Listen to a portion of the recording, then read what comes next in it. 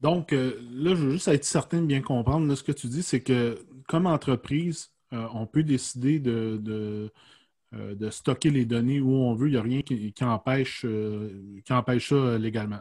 Point de vue légal, il n'y a rien qui vous empêche d'aller mettre des données à peu près n'importe où sur la planète. C'est plus le gros bon sens qui va dire Ouais, je ne suis pas sûr que je vais aller mettre ça en Corée tout de suite. Là. Tu sais, là, puis, bon, c'est quand j'ai un choix de menu qui en fait, je suis même pas sûr qu'ils ont des centres de données en Corée du Nord. Non, mais en Chine, un des plus gros fournisseurs, Alibaba, est en Chine.